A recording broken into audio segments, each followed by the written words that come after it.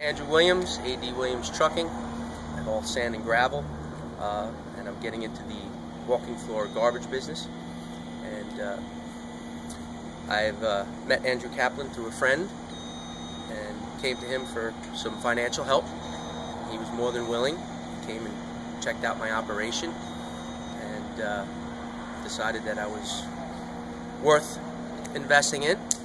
And uh, we're moving forth. And uh, thank you very much.